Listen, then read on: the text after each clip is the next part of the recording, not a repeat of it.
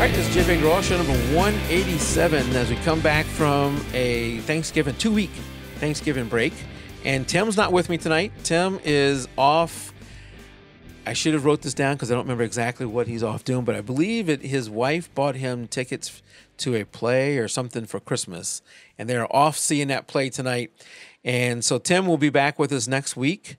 But for tonight, it's just me and a returning guest. Greg, welcome to JPEG Raw. Hey, Mike. Thanks for having me back. Awesome. I was looking, and last time we had you on was summer of 2015, so about a year and a half ago. Um, back on whatever show that was. It's, it's quite a ways ago, and we had you on. and We were talking about a product that you you wrote for Photoshop uh, called Lumenzia. Did I say that right? Yeah, yeah, that's yeah. right. It's crazy. I was I was looking back at that today, trying to figure out when we went on. I can't believe it's been that long. This last year has just completely flown by for me. Yeah, it, it, has flown by for me too. I was looking at it thinking it wasn't that long ago, but it was a year and a half ago. And also checked something out because you you gave us a copy of Lumenzia back then, Tim and I, and I looked at what version do I have because I know that you recently released version 2 and I have version 1.1 and I was I was say, telling you in the pre-show um, I have not upgraded. I know all your upgrades are free so it's it's nothing on you. This is all on me. I have not upgraded from version 1.1, but I, we were so impressed with what you showed us because you did a walkthrough with us back then on on what it did, and you have lots of, of tutorials. Um, I was watching some of them last night. Lots of tutorials out there on your YouTube page also for people to look at. But if you don't mind, can you maybe catch me up on? I don't know if you want to go back that far to version 1.1, but what has changed since version 1.1 up to now? Yeah, well, it's it's, it's almost like a, a completely new program at this point. There's so much that's changed kind of under the hood. I've tried to keep the interface stylistically consistent, just because um, when you first look at it, it looks like a lot of buttons, right? But it right. only actually does three things. There's basically a bunch of buttons that let you preview the mask you want, find the mask you want. You can customize it, you know, any way you want. You know, pick the the colors you want to mask, pick, you know, the the luminosity you want to mask, whatever you want to do and then you basically apply it. And the third part is you can refine those masks. So it just kind of does three things, and I've tried to stick to that theme because I think once you know people understand that, you know, want to kind of stick with that paradigm. But uh, you know, it's got a few more buttons since then, and a lot of other features under the hood. But if I had to sum it up, I'd say it's um, it's gotten a lot more user friendly in terms of you know a lot more intelligence under the hood to you know help see what you're doing and trying to help you along that path. So um, you know, better error at you know error handling or uh, better messages to kind of guide you down the path or um, smart detection of of you know what kind of conditions you're in. So a lot of just sort of things that you really shouldn't notice mm-hmm. um, that are just kind of like taken care of. But but feature wise, I try to think. Looking back, I, I kind of made a quick list today and uh, it didn't even have pre-blend back when we did this last year, which is the the utility that that I use to pull together your images, automatically stack and align them and sort them so you can start to blend exposures. And you can do that manually, but it just facilitates that. And that's I, I actually thought that was in the original version, but I didn't realize it wasn't in there until I looked back at my notes today. But uh, we've picked up uh, tool tips. So each of the different buttons will tell you, you know, what it's all about to kind of help guide the user. Um, groups and masks can be applied at the same time, so kind of a time-saving thing. So if you want to put a luminosity mask just in this part of the image, you can do that really quickly. Uh, it'll help you find dust spots. So if you didn't weed that out in the raw conversion, it's got a utility that basically makes the dust spots really easy to find and fix. That wasn't a uh, version so, 1.1, was it? No, no, that's new. Okay. That was something like one four or one five, I think. Okay. Um, but a lot of people tell me they, they love that. I, I, you know, I've always tried to take it out in the raw phase, but sure. you know, you can forget or you miss something, and it's really nice because once you start to, you know, make all your adjustments on the image, you know, those dust spots do start to mm-hmm. show up more and more. So if you can catch them a little bit faster, it's really helpful. Um, I did yeah. a similar thing for for luminosity.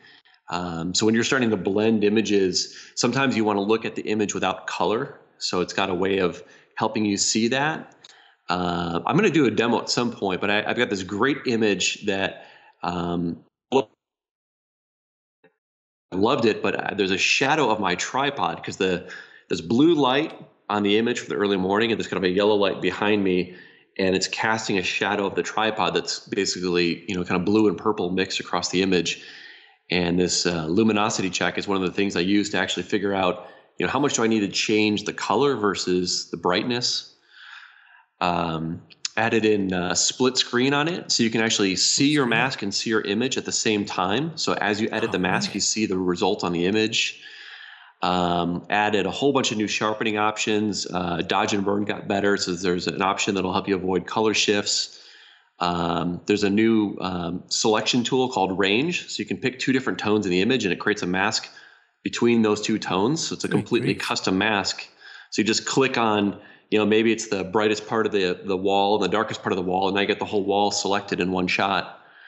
Um, there's a lighter and darker function which is totally unique to lumenzia. It actually looks at the pixel like normal lum- luminosity masking would look at you know how bright or dark is my pixel or maybe how saturated is it but it doesn't really think about that pixel you know in comparison to its neighbors it's always in isolation uh, with the lighter and darker mask, it actually looks at is that pixel brighter than its surroundings or darker than its surroundings? Um, and I'll, I, I can show you an example of when you would want to use that. But basically, if you have cast light on your image, a lot of times you can see that you know perhaps uh, you know one object is brighter or darker than the thing that is in front of, but because the light being cast on it, a luminosity mask won't grab that whole object. So you end up having to make multiple masks. Mm-hmm. So with lighter and darker, you can just more quickly uh, identify that. Um, uh, the whole panel supports the lab color mode now, so you can edit end to end natively in lab. Um, wow. I added a second panel, the uh, Lumenzia Basics panel. So for people who are new to luminosity masking, you've got a second panel that comes free with Lumenzia, and it basically has um, all the different things that you know an expert might know um, but if you don't know all the different parts of luminosity masking or you don't know the various keyboard shortcuts, they're all right there. And it's got a few other you know little things kind of beyond that, but it's really meant to be um, you know helping a range of users. So instead of putting in the main panel, it's a separate thing that you can use if it applies to where you are with luminosity masks. Um, That's incredible. And, That's a ton of changes. So I know that the list like kept going. And it'll tell you if there's an active selection now. There's just the the list just keeps going. It's um, there's been since one one, there's been ten more updates, major updates. Wow. Uh, and some other minor ones in between there. So I've I've been pretty busy. Yeah, no, that's incredible. And it's it, ten updates, and it's only been you know when you think back, it's been a year and a half that we're talking about how long ago that was, and it doesn't seem like it's that long. But to do ten updates in a year and a half is incredible. It was already. I remember when you were on the show and you were demoing it. You walked through an image for Tim and I, and back then in version one one, we were so impressed that I ended up buying a copy for Tim and I because it was it's so good. I think might be confusing things whether you did this for us or I saw it in one of your videos where you had an image of a a, a building. I know a lot of you that doesn't narrow it down much, but an image of a building and and uh, you were selecting uh, the luminosity and over on one side, you know, you showing how on, on one side of the image was about the same luminosity as a, as a part of the building was, and when you changed it, it changed both of them, but they were two different colors, so you're able to check choose it based on the color and only affect one of them, or you're able to erase out part of the, the mask. And just watching you walk through all that was just incredible. And of course, I think yeah. I think you did one with where there was an image with a bunch of uh, light dots on it, where the light was shining through something. It was like a stairwell or something, and the lights were shining through there. And you were showing us how you were able to adjust the, you know, doing it that fine tune. Yeah, I actually see that image right behind you right now, kind of rolling through that screen. Oh, yeah, yeah, the stairs it. are. Yeah, it's um, actually, I, I, pulled together a few images if you wanted to look at some before and after, because I thought I'd rather than to, showing yeah. software, I could show you some of the, the images. Um, actually, yes. Let me uh, remember how do I how do I screen share in Skype? I forgot now. Um, so I think it's on under. No, you're on the Mac. Okay, you got it. Yeah, okay. there we go. So let me know if this comes through. Okay. Yep, and I'm going to make you go full on my side. Make you go full screen. Okay. Um, so th- this is this is actually that image that you mentioned. Yeah. And um, this is the actual original raw image. You know, no adjustments whatsoever, other than a little bit of perspective correction on this image. And then I edited it to get to this. And this is what I did in an earlier version of Lumenzia. and and these little dots in the background. That's the kind of stuff I'm talking about. Yeah. Where if you if you look at that original, you know, some of these dots, like in the the top right here, these are super bright.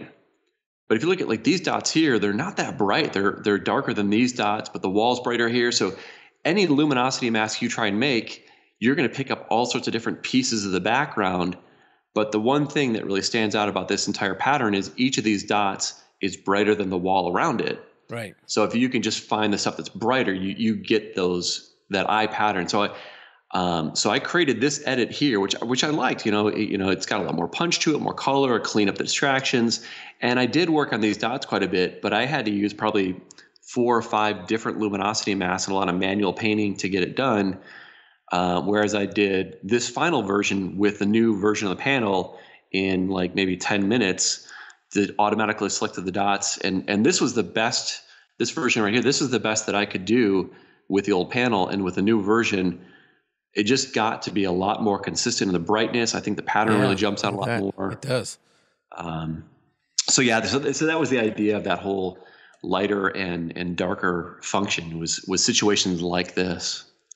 Yeah, that, that seems like a perfect one for this one. Because um, can you go back to the other one? Yeah, the, uh, this. Yeah, I can definitely see it in the, the light pattern the nearest to us.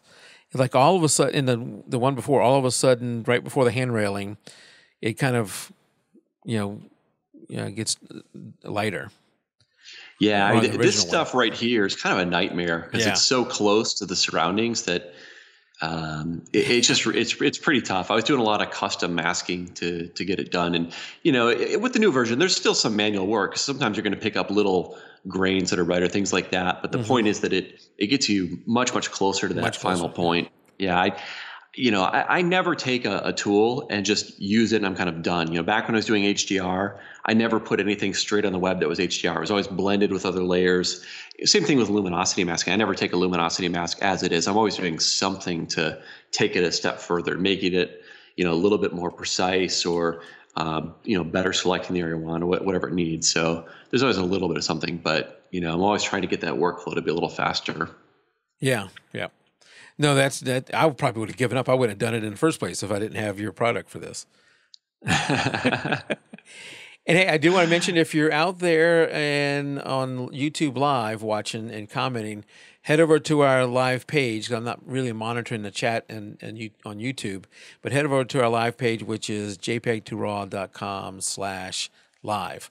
And, and that I am watching the chat over there. So um, there is a question from someone that says, what, what monitor are you using? oh, uh, right now I'm on the uh, new 2016 MacBook Pro. Just got this three days ago. Awesome. So it's uh it's great. I, I came from a 2014 uh, MacBook. Actually, if you go to my blog right now, the first two uh, blog articles are about my experience with the new laptop, which is pretty mixed, to be honest. Uh, but the screen is really nice. It's a lot brighter than the old screen, and it's got the P3 color gamut. And I I didn't expect to see much difference. I haven't even calibrated the screen yet, um, but it's it's nice. It definitely is an improvement. So I'll go over to the blog and where do I go? Uh, if you're just on the home screen, it's right at the top there. So the first two articles, yeah, the, with the How to save files much faster in Photoshop? Yeah, there's that, and um, there should be a newer article above it. Oh. I'll have to, I'll have to check that. I had, I had some website issues today, so maybe it didn't publish correctly. It should be there. Um, but I, I did. Uh, one was on because the the irony. One one of my disappointments with this thing. There are a lot of things I like about it, but one of the disappointments is the 2016 MacBook Pro. Even though it has a hard drive that is two to three times faster than the old one, when I test it with uh, Blackmagic, uh, which is a, a disk speed testing program, Mhm. the new laptop actually saves Photoshop files more slowly. Uh, I took a 900 meg image file. It's a multi-layered TIFF file that I was blending, pretty typical of my work. And if I save a PSD file with the old laptop, it was done in 41 seconds, and with the new laptop was like 48 or 49 seconds. So Wow. uh, you would think it'd be faster, but um, Do you know anything? those files, Go ahead. uh, those, those files they're compressed, right? A PSD file is compressed by default, Yeah. and so if you turn off compression, it'll save in like you know three and a half seconds. So it is faster if you turn off compression, but once you turn on compression, something in that compression chain, and I think it might just be the boost speed, uh, is actually slower on the new laptop than the old one. So it takes longer, which is really weird. Yeah. You never know. Um, and I don't know. You'd have to look at what what are your hard drive specs. You know, somewhere in the chain, something's slowing it down. Yeah, yeah. So that that's the best I can figure out is that CPU because the hard drive is definitely faster. But. Well, Greg, you know we love we so loved your product. Uh, oh, did you want to? Were you going to show more? or Did you want to? Um, what did you want to? Yeah, do? you know, I, I've I've got a few images here. If you want to see them, I I thought you know. Uh, I mean, we kind of covered Lumenzia, you know, in pretty good depth last time, and obviously it's changed a lot. But I thought it might be interesting to show a little bit of kind of behind the scenes of my work. absolutely. Yeah, that'd be awesome. So I've, I've got some more. Th- These are more kind of before and after images. Does this come up? Yep, I got it. Okay. So th- this is a shot of the Tokyo Skytree in in Japan, of course, that I did with a long exposure. Uh, it was on the uh, the Sony A7R2, which was honestly a little bit of a gamble for me. That that sensor makes me nervous um, for long exposures, and it was a pretty warm day. It was, you know, 70 or 80 degrees out probably. Um, but it, you know, I, I had to do some some hot pixel work on this, but um, I took this probably something like a five minute exposure. It was double stacked. You can really see the the vignetting as well as the the color shift on it. Yeah. But so this is the original unretouched image, and then this is the final black and white that I did in Lumenzia. Wow. So, and, and, and this was a lot of fun for me. I haven't done a lot of long exposure black and white. I, I love them. Um, I've always wanted to do more, but um, I just honestly haven't had that much time for a lot of my editing lately. Yeah. Um, but it was it was a fun project to really kind of teach myself how to how to do this sort of thing. Yeah, that's absolutely gorgeous. Thank you. Yeah. Um, so then I've got uh, this is another this is a local shot. So this is Okay. about 15 minutes from my house here in Minneapolis. Um, and that's the Mississippi River, which actually starts in Minnesota. so I used to live at the other end of that. I used to live down in uh, about 70 miles south of New Orleans, uh, uh, less than a mile away from the Mississippi River. It did not look that clean back where I was. it's a little bit smaller up here. yeah. Yeah. Um, but th- this was um, this was an interesting shoot for me. I, I was out shooting with a friend of mine, and I actually didn't bring the right component to connect my camera to the tripod. So uh, my buddy was uh, managing his kid, and he said, "Hey, why don't you just take my tripod?" So it's kind of this funny shoot, and he was super nice to lend me his tripod, and uh, I got this, and it was uh, a, a little bit um, just well, a lot really just not capturing the mood. It was uh, it was actually a really colorful sunset. But by the time I captured it, the color was a little bit more faded, and it wasn't all quite here.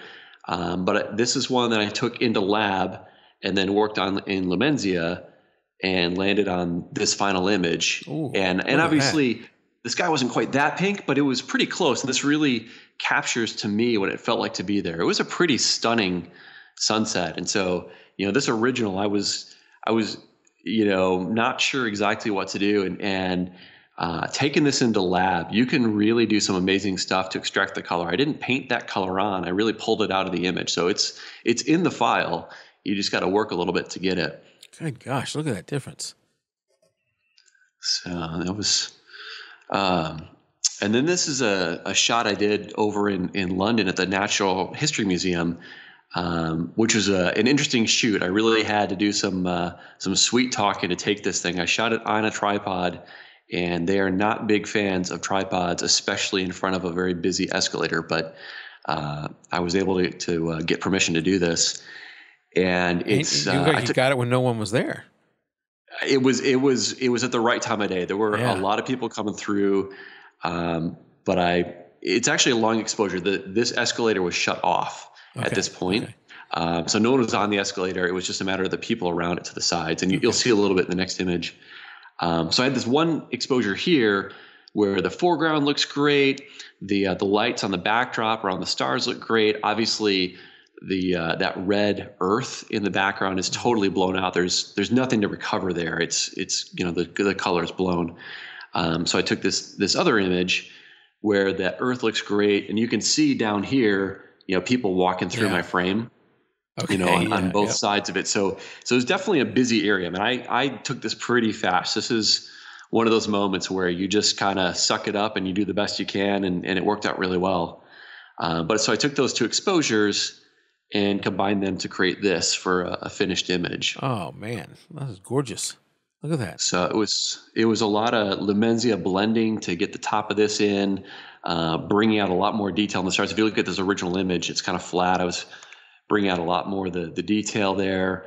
And then one of the finishing steps, and I, I created a, a, video of this on my YouTube channel, but obviously the escalator is static. Mm-hmm. So I used the uh, the path blur to to blur this, which is kind of an interesting thing to do because normally blurs are kind of linear, but you know these pixels are moving diagonal this way, and these are moving diagonal this way, and these railings are kind of moving up and changing direction. So the the path blur is the perfect tool to to do this sort of thing and um, you know, I, I, think it makes for a much more interesting image when you feel that energy moving, you know, through the the image that way. Absolutely, yeah. No, you do get you get the sense that the, the, it's moving. I would have never, I didn't see that you would have uh, created that in, in Photoshop. So uh, wait, Lumenzia can take two images and stack them together. Yeah, so that that pre-blend function I was mentioning. Okay. You basically would would stack, you know, one layer on top of another, and you don't need to use pre-blend. It just kind of helps facilitate it. And then what you can do is, for example, in this area here, I would load up a selection of the highlights. Maybe this is like a lights three or four. You know, I'd have to play with it to tell you what it is. But you create a selection of that, and and you load it as a selection, not as a mask. And then you would take this other image and you would paint through that selection on a layer mask. So you're basically revealing this part okay. of this, and then the two come together like this. Um, and I've, I've got some exposure blending videos. If you click the tutorials button in Lumenzia that show, you know, some of how I do this on a on another landscape image. Um, and I, I don't think I showed it in this tutorial on YouTube where I blended this. I just showed the the blurring, but okay. I did show the layers. So if you looked at those layers in that video, you'd, you'd get a sense of it. But that's that's the basic idea. Is I'm I'm revealing you know the good parts of you know all this stuff in the foreground and the good parts here, and the luminosity mask is what's letting me create that selection in a way that's you know nuanced and, and looks real. Yeah, and you have a lot of good YouTube videos out there that are very helpful. I was watching some of them just recently, and um, that's when I w- went back and to see which version I had of you know when we bought it back in summer of 2015. Um, because I didn't remember that, not because I've I, I, really, to be honest, had not spent the time with it that I need to. Um, it did it was much easier than doing it, you know, the mask yourself, but I just haven't uh, spent the time with it. But now watching all this, I got to go get the new version. And you mentioned early on the new, you know, all updates are free. So I can go from 1 1 to 2 And I need to tell Tim to do the same thing if he hasn't already done it. Yeah. Well, and if you want to, you know, jump right back into it, I've got a, I've, I've also been expanding the tutorials. So as I've added features, there's new tutorials. Uh, and there's a video right at the, the top of the support when you click on tutorials that okay. is called the quick start video. And that kind of goes through all the high level stuff. And that's a, a really good place to just kind of quick get after it. So you don't have to, you don't have to watch all the tutorials to start using it. Okay. Where did you say this image was taken at? So this is in London at the Natural History Museum. Okay. All right. Yeah, I'm, glad, I'm so, surprised yeah, they let not, you set up a tripod. Yeah, you know, um, it was all about strategic patience and approaching the right person. And I got management approval to do it. Okay. Um, you know, so it was it was definitely some sweet talking to to make this happen. You're not going to walk in there with a tripod and just take the shot. They'll kick you right out. Mm-hmm. Um, so it's you know pay, pays to uh, pay, pays to work with people, find the right people, and you know make an ally. Absolutely, and a lot of things in life, and a lot of things in life. You know, one of the things, uh, you know, uh, I am still a member of a quite a few uh, communities over on G Plus, but most of them are inactive.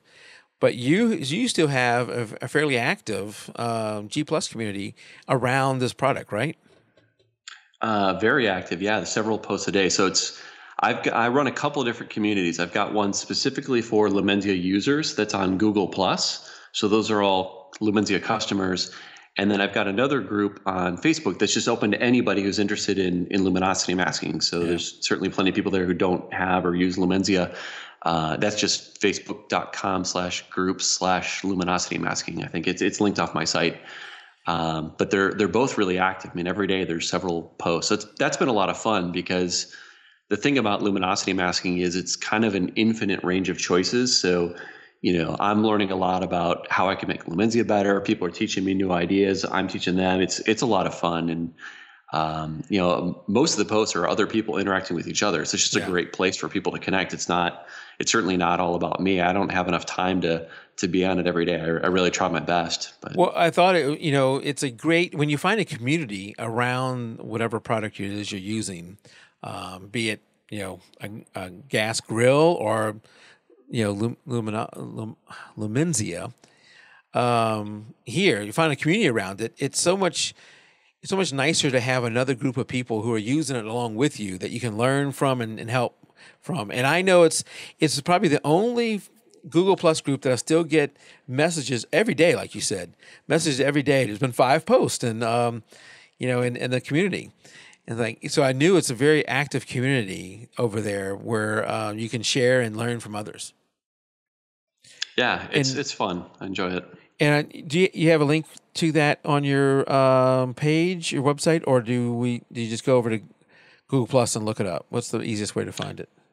The, well, the Google Plus group is just for folks who buy Lumenzia. So okay. anyone who buys Lumenzia, there's a, a, a link you'll get to you know be invited into that group. The, hey. the Facebook group is linked right off my page, okay. my website. Well, there's another uh, another clue that I did buy the product because I am a member of that group. I forgot. I do remember that now. You sent me a link after after that. Um, and if somebody wants to buy uh, Lumenzia, they go over to gregbenzphotography.com and then um, what tutorials? Wait, tutorials and actions? If you if you just put in gregbenzphotography.com slash Lumenzia, you okay. go straight there. Yeah. Okay. And then from there you can you can buy it. Yep. Yeah. All right. And um, we're going to JPEG Raw is you know, we I told you in the pre show. We uh, do an annual best of contest, photo contest, Greg. And this year we're going to buy a copy and we're going to give it away to to somebody. I don't know um, you know, it's going to be first place, second place, a random person, whatever, whatever it's going to be. But we're going to buy a copy and give it to somebody who enters. That's all I'll say for now. Who's going? That's awesome. Yeah, yeah, because it's a great, it's a great product. You, not just landscapes, there's lots of different, you know, uh, different things you can use it for. Uh, lots of different types of photo- photos. Yeah, you know, I, my my examples are all pretty much landscape and cityscape, but uh, a lot of folks using it are are doing portraits and all sorts of interesting stuff. I, I wish that I did more of that work myself to show it off, but I've been blown away at uh, the kind of work I see. I've I featured a couple of guys on on my site uh, already who uh, the work's stunning. Both uh, guy named uh, Kareem El, El Daghedi, who's he's an Egyptian guy living over in Dubai, and he's just got the most stunning images from Dubai and Abu Dhabi, and another guy from Brazil uh, Jackson Carvalho, who uh, he's an interesting guy. He he does these just amazingly surreal uh, images, you know, the day to night scenes and things like that. Um, but also some stuff he's been doing out of his trip to Africa. And then he's a completely separate line of stuff he does with a bunch of nude models and he's this expert in multiple domains. I, I love seeing that. It's just been amazing to see what, what people do with it. Yeah. Well, and you just said with models there. So it's not just uh, landscape, it's people too. Um, that you can use it with. I can't show the nudes here on the show, but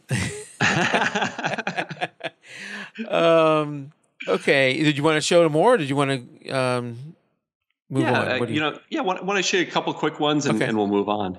So this was, um, you know, this is another one that I think is kind of interesting because it's a, it's a, you know, uh, you know, sea stack that um, is a beautiful sea stack, but to get the wave action, you really kind of shoot wide to, mm-hmm. to get the flowing motion.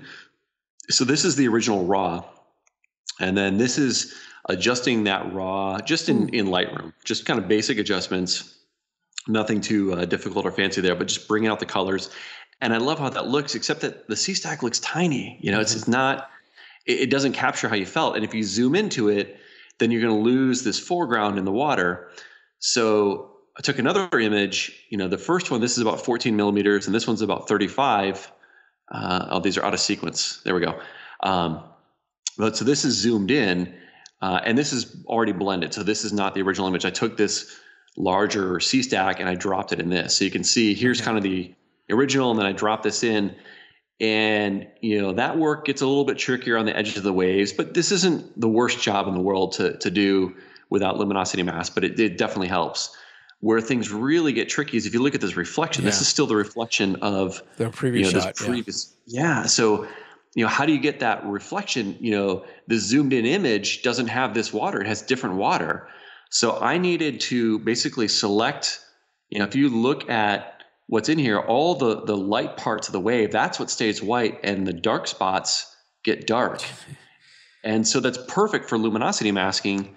And I was able to select it and create this fake shadow of this larger rock. Um, so yeah, it was a really fun project, but that was, you know, that was really kind of the magic there. So this is an example of, you know, what I would call, um, you know, focal blending or focus blending. It's you know different focal length lenses blending them together and then you know with the water they're getting really tricky and that was not not an no. easy thing to do so uh, yeah but, it looks incredibly difficult without i don't i don't know how you would do it without your uh, product i I, well, I wouldn't you, attempt it i mean you you could certainly do it with just using uh, luminosity mask but it, it, it's a lot of work i yeah. know to do it but it was it was fun uh, and I'll show you. I'll show you one more here. And I, I know you wanted to kind of talk uh, uh, work and and uh, career change. So we'll, I was uh, hoping we'll this was the one you're going to pick.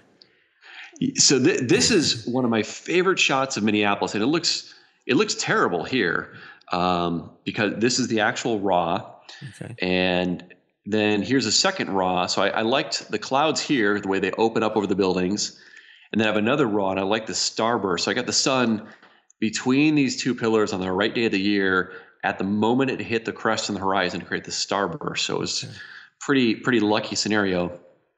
And then I got another exposure later when all the city lights are on.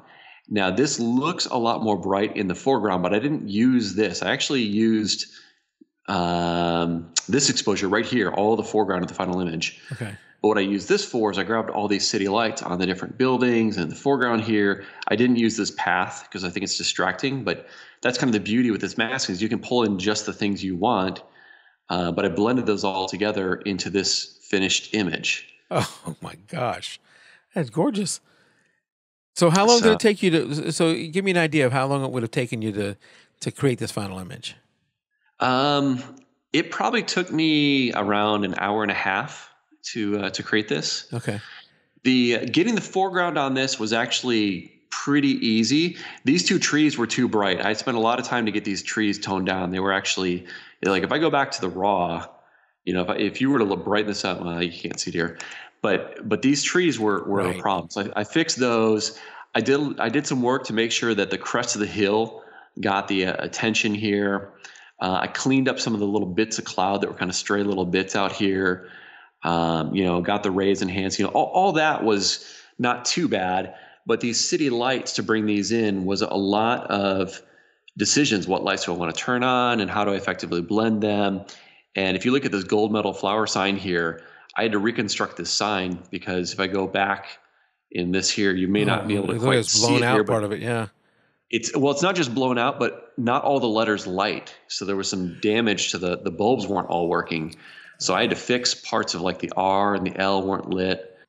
Um, wow. So there, there's a there's a lot of little subtle things going on here, things you can't even see on the web that you know were because this is an image that I definitely plan to print. So I mm. really took care of all the little, the little details. So yeah, probably probably about an hour and a half. It was pretty involved. That's that's definitely on the longer end of how much time I like to spend on an image if possible. Well, the final product looks gorgeous. Yeah, You're going to print this for you personally and and mount it, or do you sell these uh, these images? I, I do. Yeah, that's that's uh, one of the things I want to do. So I, I do want to sell this image, okay. um, but uh, yeah, probably put this up at home. I guess it kind of depends on uh, if Megan agrees with me on that or not. well, so. and this was one. This is the one I was hoping you when you had the thumbnails. I was hoping this is the one you would go to here because this one, the final product looked you know, most of them look great. All of them look great. Just uh, this one looks really interesting. Yeah, well, this to me is a, a, really good example of what you can do with luminosity mask to not only bring out a lot of detail, but also to blend different moments in time. You know, to take these lights from late at night and and the the daylight images. I mean, these are there's some color shifts going on in here. There, there's a lot of subtleties. I didn't just put it, you know, a light and blend mode on that. There's a lot of little things that you got to do to to make that all stack together because sure. there's a significant color shift from the, the two different images. But you know, you end up with I you know, if you hadn't told me all this and I just looked at this image, I get the feeling of um, a, a, sunrise or a sunset. I, I, I wouldn't maybe know which one it was, but I, the image has that feel of a sunrise or a sunset. Which one is this? Sunrise. Is this this is a sunset. Sunset. Okay. It has the feeling of that. So you've kept it in bounds, and I am glad now. Looking at the final product, you didn't put the light along the trail because that would have been distracting. Yeah, I, I, actually did that work. So I in my layered file, it's in there.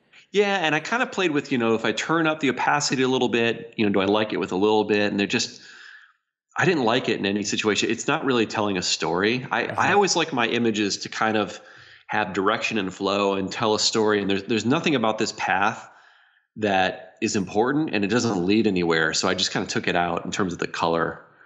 Yeah, so. I, I, like you know the, the the gray path going through there kind of gives. I like that subtle feel of it. I think it'd have been too overpowering if you it easily could have been too overpowering. I do like uh, you still have the what is that the trail lights or the the, the brake lights or whatever of the image of the cars there, right? Oh yeah, the cars there. Yeah. yeah.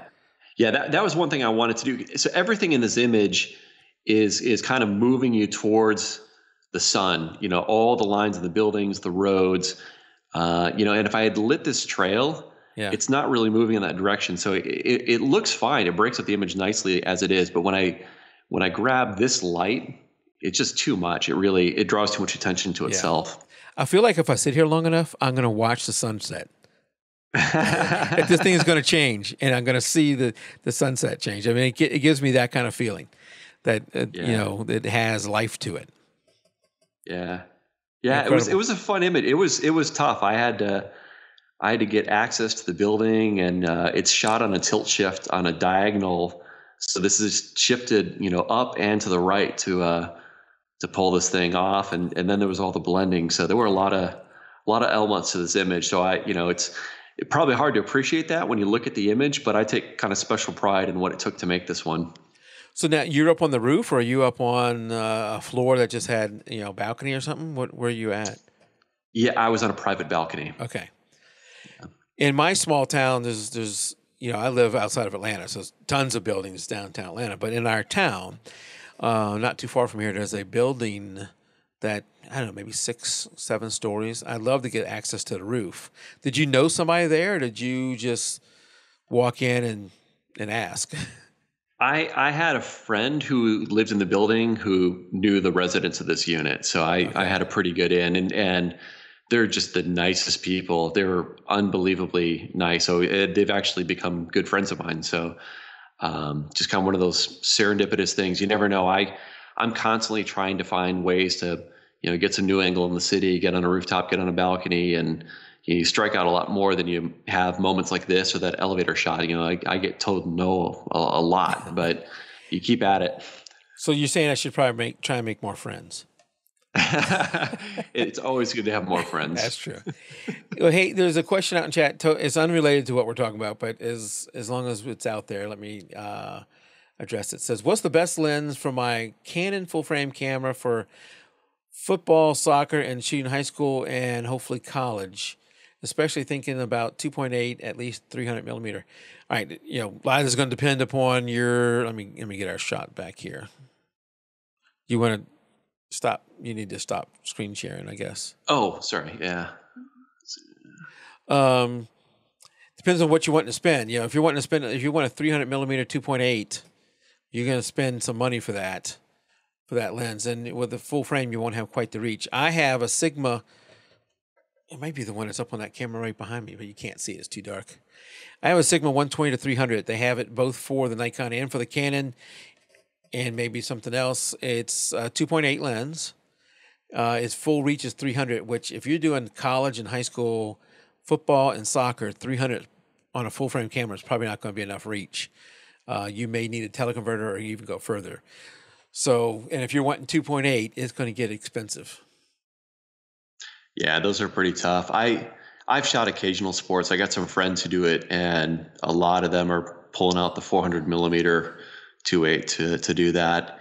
Uh, if you're shooting daytime, though, no reason you can't, you know, be a little more economical and grab like a 70 to 200 and get a 2x teleconverter. Now you're yeah. shooting at f5.6, so you're not going to shoot in low light, and your focus speeds are impacted. But you know, a lot of times it might be all you need, kind of depending what you're doing, or um, if not, probably the best way to do it is just go out and rent a lens. You know, you pay uh, a reasonable day fee for the, the number of times you use it, unless you're professional. That's probably the way to go. Yeah, it is going to be a trade off. If you're shooting during the day, you can go with something like that. You could, you know, on the Nikon side, I know she said Canon or he said Canon. Uh, there may be the the Canon uh, uh version of this, but on the Nikon side, I think there's like an 80 to 400 five six lens, so that would be okay during the day if you had a lot of good light. But if you're shooting and that may be good for that lens right here. Yeah. There's, so it's uh it's a great lens. I would not shoot sports with it. Too um, slow focusing. I think it's a little so. It's it's you know and just the handling of it the the, the 70 to 200 to me handles a little nicer you certainly can do it there's no reason you can't and it, it does have uh, a really nice anti-vibration system on it so you can handhold this thing pretty slow but the problem is when you're shooting sports it doesn't matter if you can handhold it. It's, you know, right. can you stop the, the player moving? Exactly. You need the shutter speed to stop it. If you're shooting football, high school football, you're probably shooting late in the afternoon or even at night, and you're going to need that 2.8. Um, so, I, you know, I need to know more, more information and how much money you want to spend. But Greg had a great suggestion is narrow down your selection and then maybe rent one or two of them and see what you're willing to to to use and how much it's going to cost. All right, Greg. So let's get to.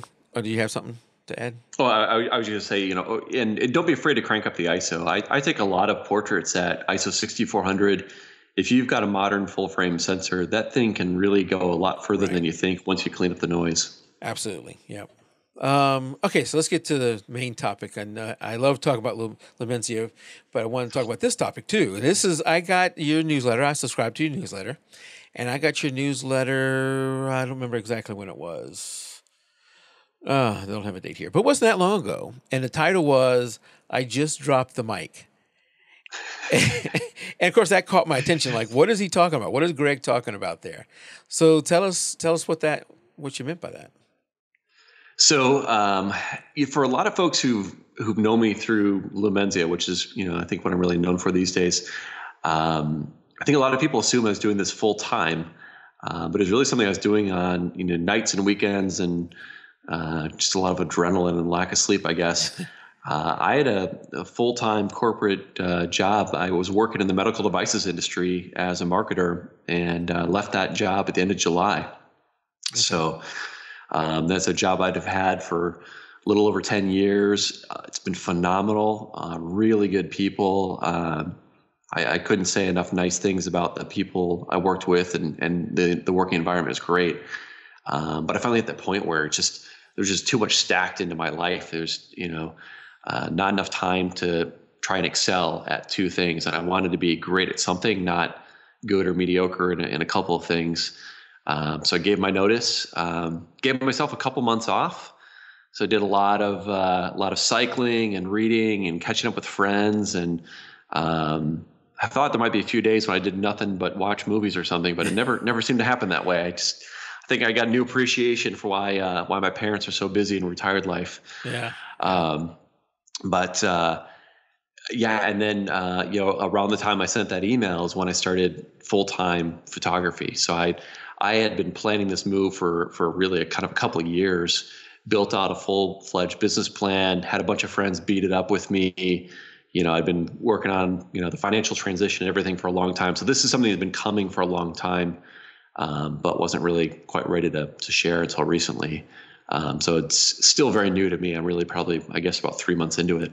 Well, you know, it's something I think a lot of photographers dream about. A lot of people outside of just photography, but specifically photographers dream about, especially if they're getting a little business on the side. Maybe they're busy on weekends. Maybe every weekend they're busy shooting and doing that kind of stuff. You know, more than like me, who's just an amateur and really has no uh, dreams or or, or um, skills to do that full time. But you know, there's a lot of people that are, are in that boat that aren't. They're, they're debating when is the right time. When is the time for me to cut this off? And maybe in their mind they're thinking, I've got to have enough the same income from my weekend job that I got from my day job, and then I can quit. But that seems to squeeze everything in a weekend and only give it, you know, um, that much work it's going to be very difficult to have that money equal your day job money and then quit. It seems like you're gonna when you quit, you're you're probably gonna have to supplement some of that that earnings from your new full time job with some savings or some cost cutting until you can ramp that one back up. What what do you think there? What is the right time? Well, I you know, and and, and I'm certainly in that boat now. Um, you know, Lumenzia is not going to be a full income for me. It it covers a lot of costs, but you know every month my bank balance is is dropping. So i'm i'm investing in you know a new career but i'm i'm, I'm certainly not uh, covering all my costs just yet. So I, have got a lot of work to do but go ahead. Uh, sorry go ahead. Uh, I, but I was, I was going to say, to me, there's, I think there's three elements that um, that you need to have. Uh, first, you need to be passionate about other people's problems.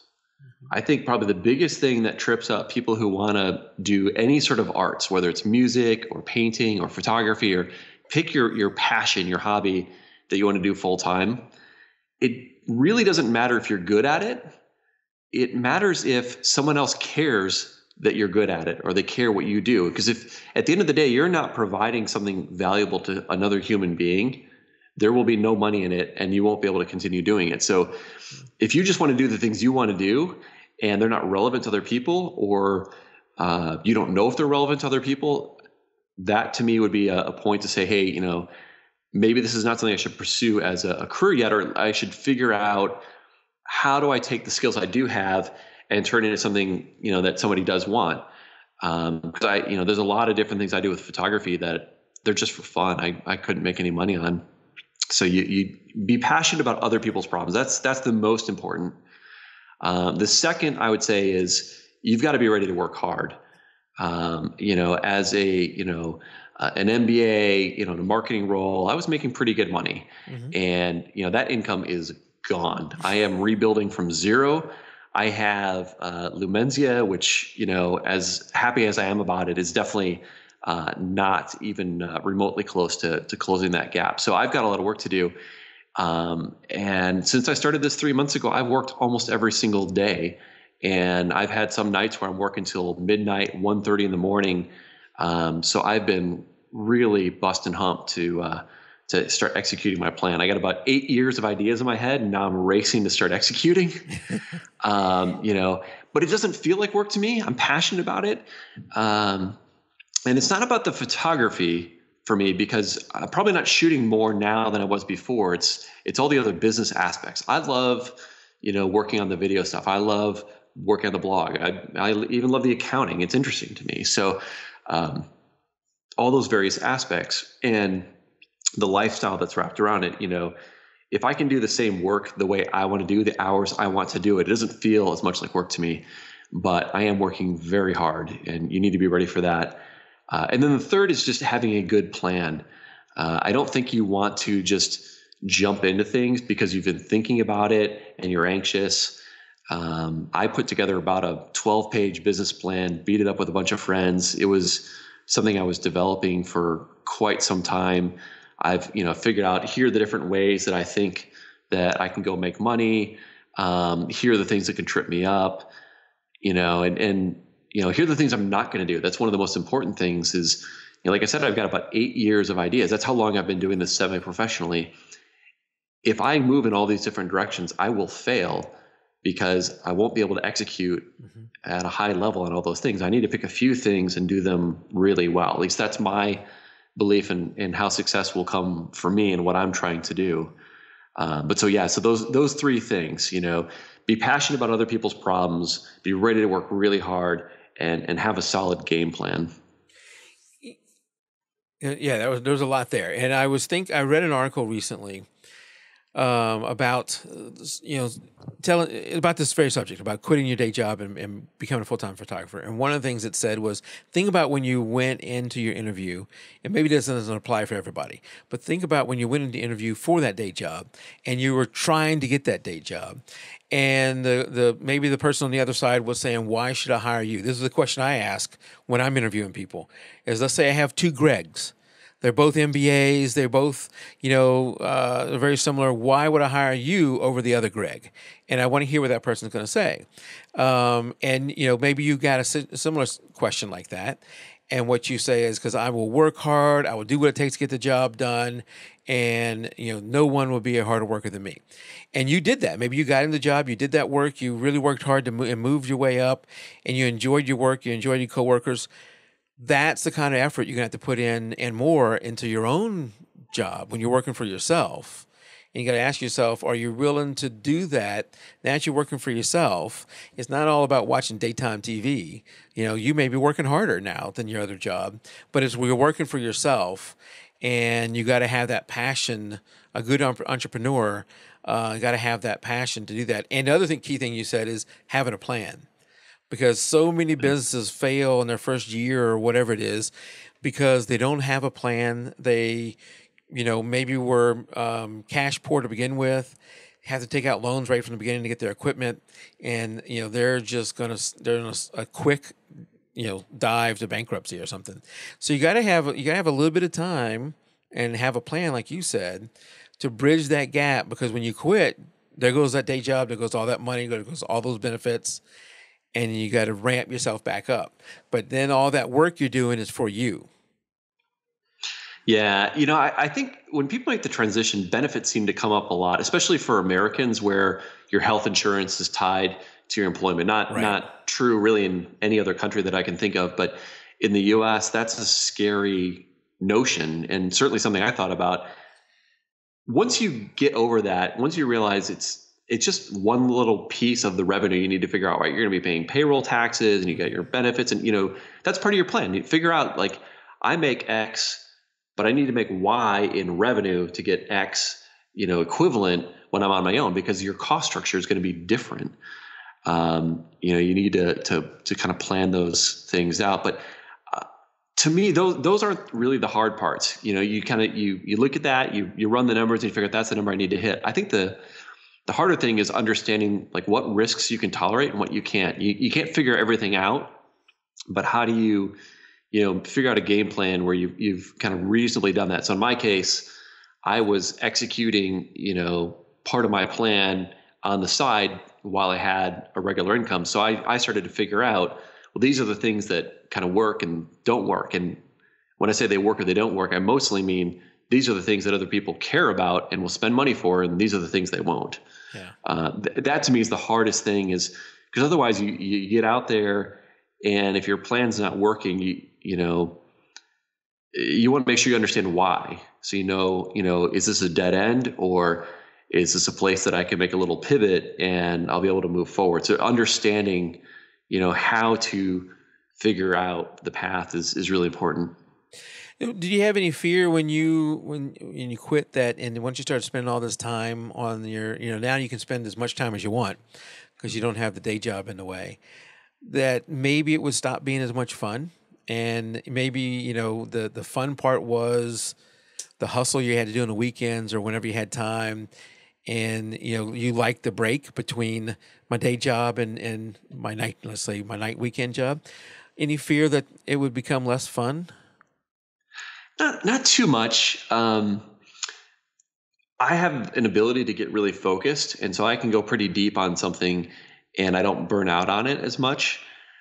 Um, and and when you look at what I'm doing every day, you know, this week I might dive in and figure out, you know, a bunch of infrastructure stuff for my website and my email newsletter. And you know, this week I might be out shooting, and this week I might be editing, and this week I might be creating a video product, and uh, you know, this week I'm doing accounting. So the the things that I actually spend my time on, they they go in cycles. They vary a lot. Mm-hmm. Um, there is a lot of computer time. That's probably a, a fairly common element to this. You know, pro- probably more than is ideal, but um, there's a lot of variety there. And and I've got you know deadlines I set for myself, but I, I do give myself enough flexibility to say, okay, I feel creative now. Let's go edit some photos, or all right, I need to get some stuff done. I'm going to go dive into the books and and figure out the accounting or you know the taxes, whatever it is. Okay. Um, yeah. Now, as you talk about the business plan, as part of that, multiple revenue streams, you know, Lumenzia being one of them, and and other revenue streams that you're you're looking to create. Yeah, so I, I love being an educator. It's something I really enjoy being able to present, to teach other photographers, to help other photographers. I look at Lumenzia as being part of this spectrum of helping other photographers. So there's more things I want to do in in that arena. You know, go deeper on the tutorials and, and things like that. So that's certainly something that I want to invest in. I haven't had the time yet to to do some of the things I want to do. Right now, I'm just kind of doing some of the blocking and tackling uh, of the business. You know, pretty boring stuff, but I need to start creating some new products. Um, you know, otherwise I'm not going to have new revenue. Uh, new products. So. Uh, and, and I love the the when you have something come up with that. I love to have you come back and talk about the new product. Uh, That'd be great. That yeah. sounds awesome. Yeah. Any fear, you know? So one of the things you mentioned this earlier on is you, you know, the people you work with. I, you know, I've been at my same company now for almost 27 years, and people have come and gone, but for the most part, I, I really cannot. If you if you made me pick somebody, I could not pick anybody I didn't like working with. So there's there's lots of people I've liked working with, and really have become like a, a second family. Any fear? Did you develop any you know relationships there that? And I know everybody says when they quit, I'll keep in touch. Most people don't. Most people you leave, you're done. You know, you never really see them much anymore. Any any emotions around the fact that I'm I'm leaving my work family? I definitely miss seeing uh, a lot of folks on a regular basis. I, I, really truly did work with just some of the best people. That was the reason I joined this company was the people I work with, and I have so many, so so many good friends there. Uh, but I, I I do feel like I'm doing a pretty good job keeping in touch with a lot of folks. Uh, Megan and I are grabbing dinner with uh, another couple we know from work in a couple days. You know, I've been on the phone with a bunch of folks, grabbed coffee with someone yesterday. Um, you know, it's tough though. I mean, my, my old job is 30 minutes away from here. So mm-hmm. the distance can make it a little tough. And of course, I travel for my stuff and they're traveling, you know, you know, I was traveling 25, 30% of the time with my job. So that's probably the toughest thing. And then everyone's got, you know, kids and busy schedules and all that. Um, but you know, the folks I really care about the most, we're staying in touch. And you know, some of those other folks I liked seeing, but weren't necessarily the ones I'm keeping touch with on a daily basis. You know, some of those faces are being replaced with new faces. Other folks I connect with, whether it's on you know the Google forums or um, you know face to face at conferences, or you know, I've I've met folks online and been out shooting with folks in Amsterdam and London and Tokyo and all sorts of different places. So you know, as I go deeper uh, in this new world, I'm I'm making a lot of new friends, and it's pretty fun because we have you know this deeply shared passion with photography, which, you know, as you know, is sometimes hard to blend in with the rest of life if you're chasing the light at odd hours and that sort of thing. So um, there's a lot of pros there. So uh, it, it's puts and takes, but but I, I I like where things are. Yeah. Any advice you'd want to give to somebody, you, know, other than to have a business plan and the cash? Anything not obvious, maybe that you would give advice to someone who's thinking about quitting their day job and and um, but doing this full time? And you mentioned like healthcare. You mentioned it's something to get past, but that's a big item. I don't. If you want to share more on that, I'd like to go to that. But any outside of those obvious things, any not obvious tip for somebody who's thinking about doing this? Well, I, I haven't had enough time to really say I've failed at something yet, so I, I don't have those hard lessons. I'm sure yeah. that's coming for me. Um, so I, you know, I don't have that yet. Um, but I, I, really think trying to understand the, the people you're trying to help is probably the most important thing. Um, as creatives, we get passionate and self-centered, right? We're all focused on the thing we care about, and if you hold on to that passion, that's good but if you hold on to that mentality too tightly and you're and you get too inwardly focused, I think you'll start running into problems pretty quickly. Okay. Okay. So I, that's probably the most important. So, if you don't mind me, and you don't have to give any details, but how do you solve the health insurance thing? Because it's even a, for someone who wants to retire at, let's say, 60, Medicare doesn't kick in to 65. What What does somebody do for insurance? Well, I'm sure it varies tremendously state by state. Okay. Um, you know, so in in Minnesota, um, there's several different options on the healthcare exchanges. We have something called MNsure, which is kind of our state level implementation of, of Obamacare, right? Okay. So you're you're talking five percent of the population buys on the independent market. Um, it's a scary thing for sure. I mean, you definitely can get wander on the axle. Um, there's a local company here that's a, a phenomenal company. Um, I knew it was you know my preferred vendor, and I you know called them up. In about 10 minutes, we'd walk through all the options. I called back with a few more questions. Then here's the price. Um, and it, it, wasn't what you think. I my, this year I'm paying something like 320 bucks a month for healthcare. Wow, that's and bad. like an extra. It's like an extra 30 bucks a month for dental. Now next year, uh, you know, all the headlines, all the the you know screaming about Obamacare and cost of healthcare. Um, some states it gets really nasty. Other states is a war level. Um, but that that's hitting home. Uh, if I wanted to stay on the plan I have now, next year would be 420 bucks.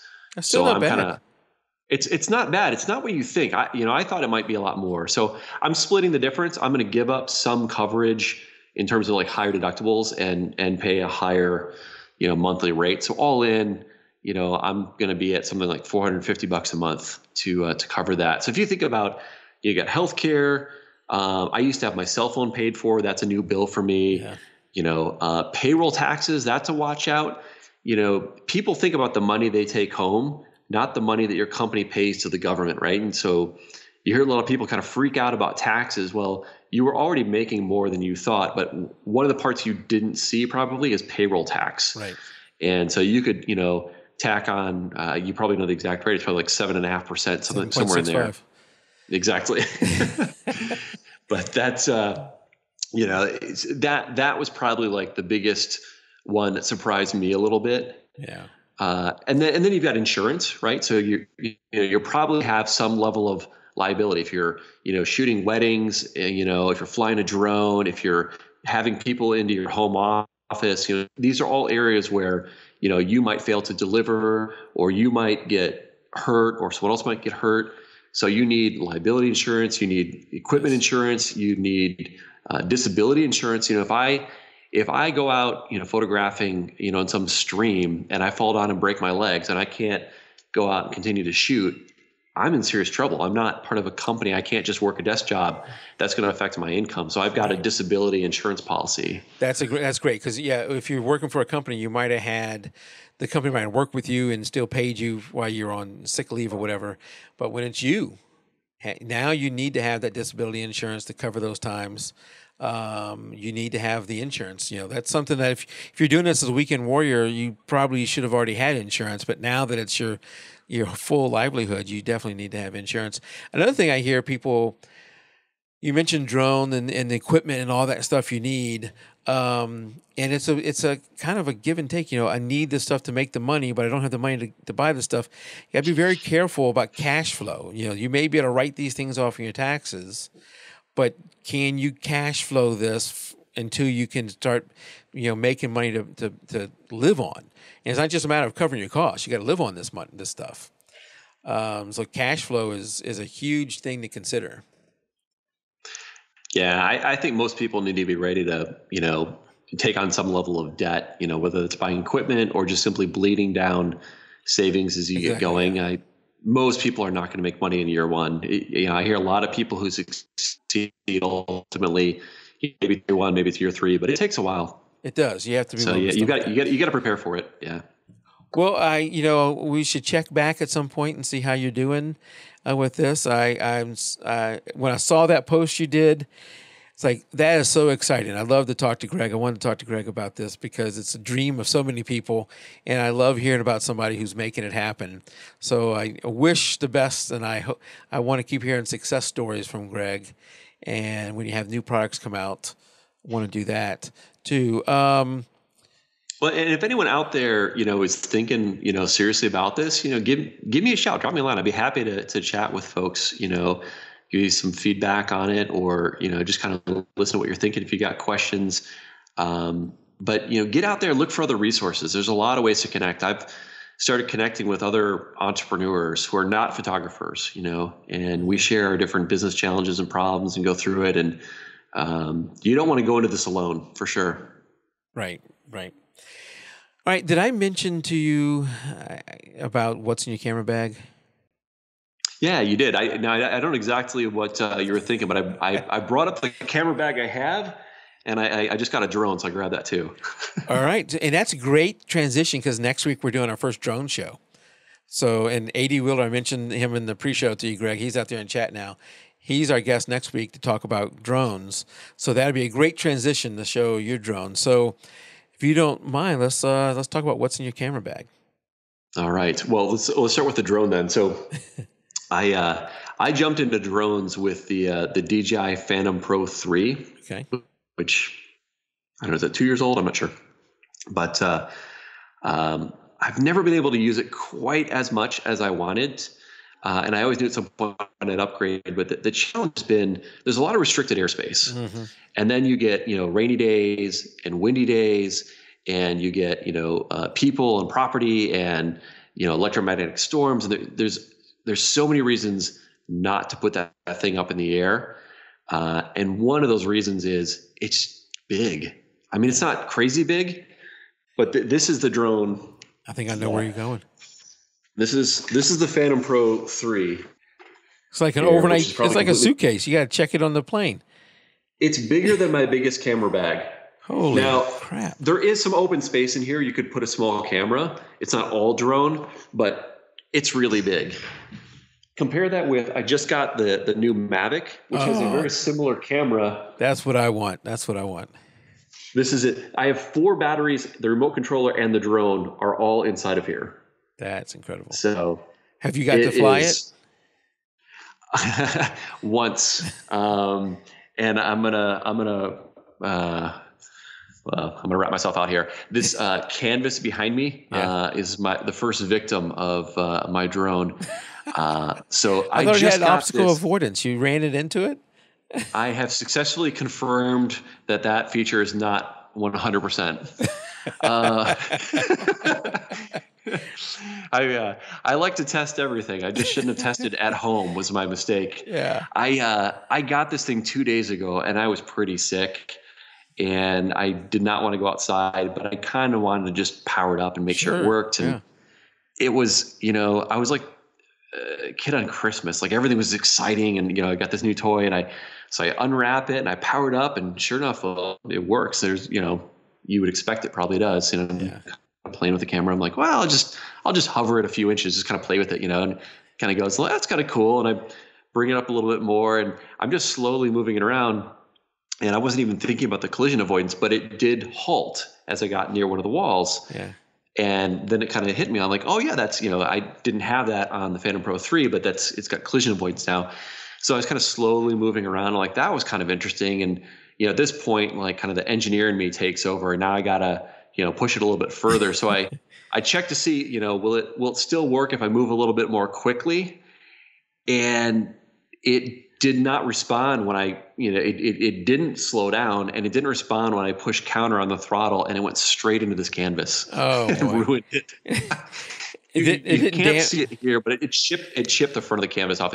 You can't see it here. It's okay. a you know, 60 inch wide canvas, but there's a bunch of uh, marks where the blade hit and, and, it actually stripped the image off of a, a pretty good chunk of it in oh, one spot. It looks it looks like a rock from a distance, but up close, it's okay. it's ruined.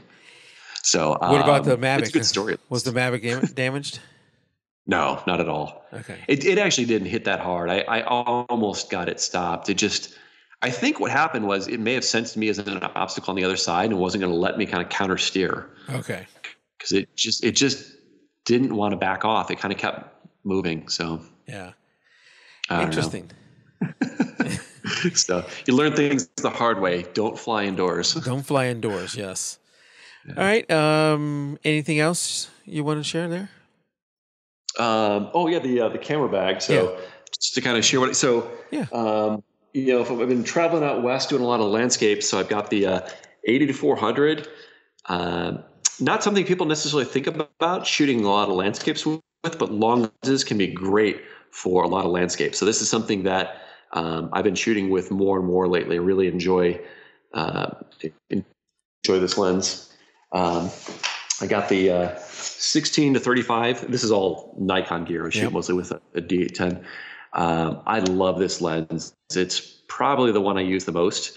Uh, it's a great sharp lens. More importantly, it takes filters very easily. So I'll throw on neutral density filters on this for slowing down waves or whatever I'm trying to shoot. Um, I do the 14 to 24. I love that for its wider aperture and its and its wider focal length. But I I just honestly I use this a lot more because it's just uh, more practical, especially with the ND filters. That's the one um, I, I was. You can get. Go ahead. Uh, I, I, said, which, which, you can get on the 14 to 24. There's the WonderPana, uh, and I have it.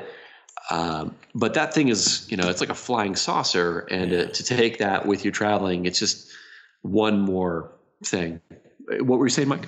It, it, that's the one I was looking at. I need a wide angle lens for my camera because I went from a, a, crop sensor over to full frame, and you know my wide angle was a crop sensor uh, lens, and I that's what I was looking at, 16 to 35, because the 14 24 was, you know, had some some some things I didn't want to deal with. One the the filter issue, um, and it was I think a more expensive too. Um, so the 16 to the 35 seemed like the perfect thing that I was looking for. So good to hear that you that you like it. Maybe that's on my future Christmas list. Oh, I I think I take more images with that lens than any other now. Oh, I love that. And the the last piece of my kit really is the the D810 with the uh, really right stuff L bracket, which I use love those all the time. I, I love that. Uh, and this is their 50 millimeter uh, f1.4 lens. Um, I I don't have a mid range zoom that I like. I've never I've heard some good things about some non Nikon brands. Nikon has never made one that I like. I have a lot of Nikon gear. I love it, but the 28 to 70 is just not a good Nikon lens and the fact that they jumped to a different filter thread in the latest iteration, I just don't feel like carrying two sets of all my filters. So I shoot with primes in the uh, the mid range there typically. Yeah, it's nice to see another real right stuff. I And you got the L bracket. I love. I I bought it with my D2X Nikon D2X years ago, and my Nikon D2H.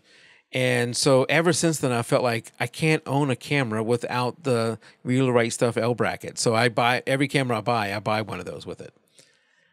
They're they're just awesome. I just completely abuse them, taking them in the ocean, banging around rocks, all sorts of stuff. Um, you know, the only thing, the only complaint other than you know the price, which yeah, they're not cheap. Honestly, unless you lose it or get stolen, it's going to outlast so many other things you have that it's it's it's worth the investment. Um, I've never figured out how to get the legs to not get loose on it. I, I use Loctite and everything else, but I'm always fiddling with an Allen wrench to tighten those legs. That's my one complaint about the really right stuff legs. The what are you talking about? The legs? The, the, the so the actual tripod, the oh, actual oh, oh, no, not okay. the L bracket, but the, the tripod legs. Okay. You know, one, there's one of the other things I like about it. I use the Black Rapid strap, and mm-hmm. that you know, screwing that thing into the bottom of your tripod mount on the on the bottom of a camera, it'll start to tear that thing up. But but I you know screwed it into when you had the, the L bracket on there, screwed it into the L bracket. It seems to be holding up pretty well. Yeah, those those things are tough. Yeah. I I you know I have banged those things into so many different rocks and trees and everything else when I'm hiking and it's you know on my back or I'm climbing in weird ways and um, you know it's got the marks to prove it, but it never it never stops working. It's a protective cage around your camera. Yeah.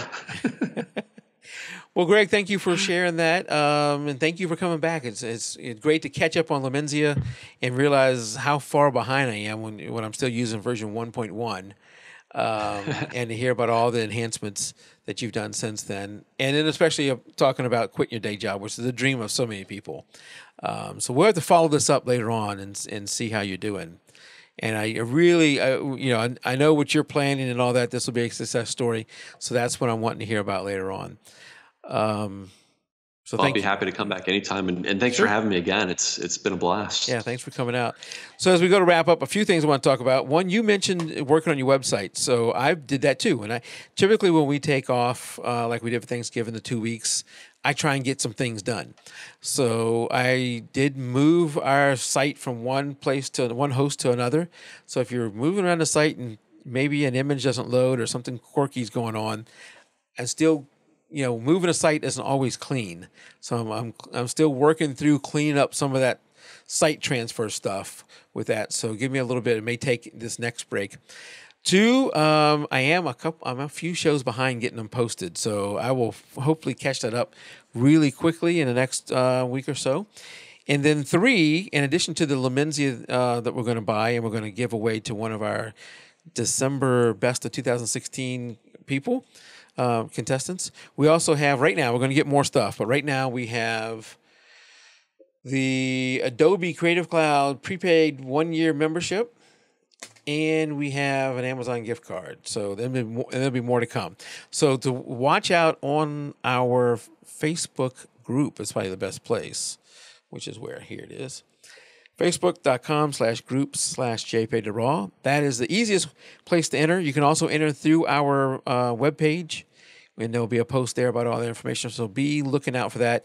Also, of course, on our Facebook page, you can find it there. I'm also um, I'm wondering, you know, whether we continue to do it th- through uh, what is it? YouTube Live that we're doing now, or just do them all over on Facebook. AD Wheeler and I do a once a month photo review show over on Facebook, and it gets pretty good traffic. Um, so I'm debating on whether we're going to go all there or, or all, or keep this mix like that. If you want to get the show live, if you want to get the show live, you got to come here. But if we get the show recorded, we're on iTunes, YouTube, and Vimeo for the video portion. Stitcher, Spreaker, iTunes, iHeartRadio, TuneIn, Podomatic, Podbean, and Google Play Music for the audio portion of the show. So either one of those places. And I think our app is still out there in the the Google was it Google Play Store, the Play Store, and the what is the um iTunes. That's right, iTunes. Oh, the App Store. The App Store, yeah. So I think it's still out there. Let me pull it up. Let's see if it pulls up. Yeah, yeah, it's still there. There you go. You can go get our app out there. I think it's going to be. I think the company that wrote this is going under, so I don't know how much longer it's going to be out there. But you can go get it while it's out there. It's free. Uh, just search for the Raw in the in the App Store, and you can get it for free. I did mention next week we have AD Wheeler on. We're going to be talking about drones. It's our first drone official drone show, so come out here for that. Then we have one more guest, and then we're going into Christmas break, and then we'll start in a new year. So until next week, keep it raw. Good night, everybody. Thanks, Mike. Thank you, Greg.